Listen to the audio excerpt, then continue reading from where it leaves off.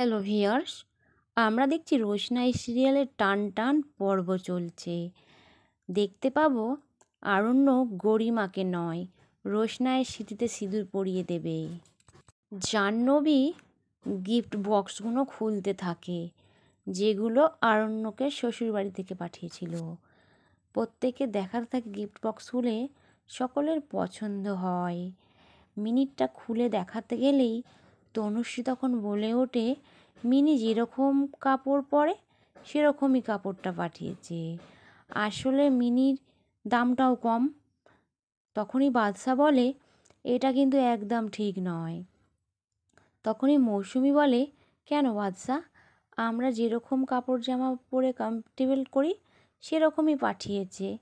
তখনই তনুশ্রী বলে, আমাদের জামা কাপড়গুলো বেশ দামি, বেশ গর্জেট বেশ দাম দিয়েই কিনেছে উনি। অন্যদিকে সুরঙ্গমা নীলামচোর বাড়ির লোককে নেমন্তন্ন করবে না বলে নীলামচোর সঙ্গে সুরঙ্গর বেশ ঝামেলা চলছিল।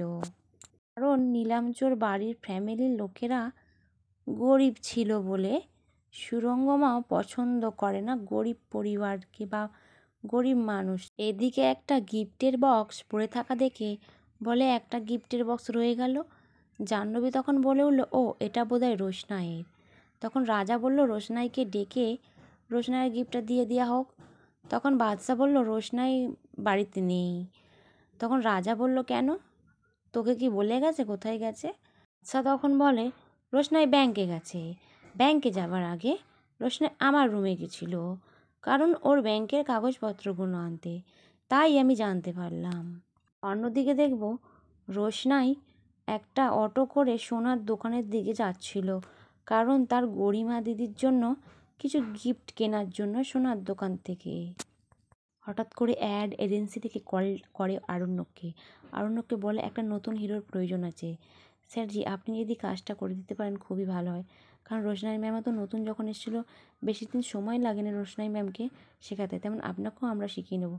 হঠাৎই গরিমা চলে এসে ফোনটা কে নেয় আরণ্যকের হাত থেকে। বলে, ওখানে রোশনাই কাজ করবে না। রোশনাইয়ের বদলে আমি আর আরণ্যক কাজ করব। আসলে কি রোশনাইয়ের সঙ্গে আরণ্যকের কাজ হবে না গরিমার কাজ হবে? আপনারা কি বলতে চান?